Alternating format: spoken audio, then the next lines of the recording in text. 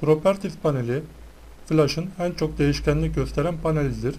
Properties panelinin diğer bir ismi özellikler panelidir.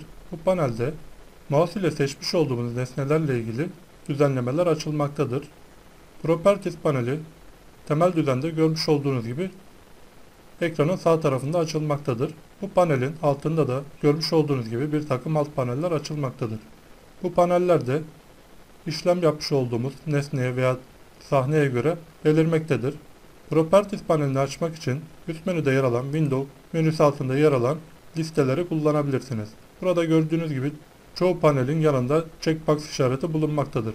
Bunlardan ilgili kısma mesela Properties paneli için checkbox kaldırdığımızda o panel gizlenecektir.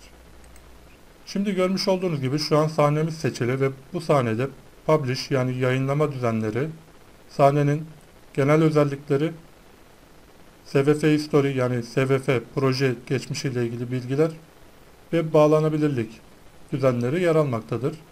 Mesela bir çizim aracı seçtiğimde gördüğünüz gibi o çizimle ilgili dolgu ve çizgi opsiyonları, dikdörtgen opsiyonları, daireyi seçtiğimde onunla ilgili düzenler, kalemi seçtiğimde yine aynı şekilde farklı farklı araçlar açılmaktadır.